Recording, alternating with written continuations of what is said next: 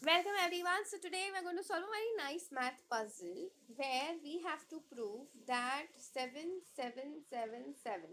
There are 4 sevens and we have to make them equal to 52. Now what we can do is you can place, sorry my bad, you can place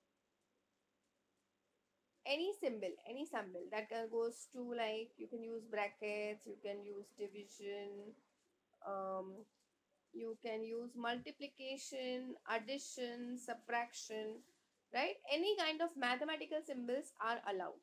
So here, I'm sure those you must have figured it out. Please go ahead and put it in the comment section. But those who are not able to understand, we'll see, we'll see how to do this, okay? So what we'll do is, we'll first put them in bracket and let's do a multiplication sign, okay? And then what we do is just put an addition sign and then you do division over here. So what happens basically is see your first let's solve this bracket.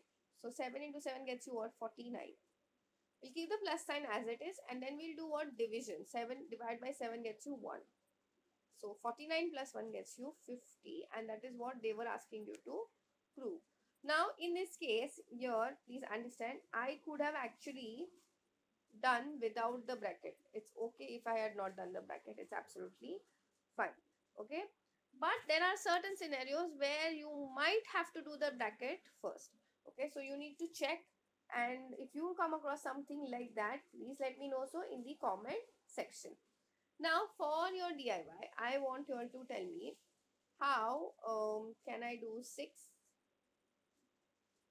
6, uh, 6 and 6 how can I do um,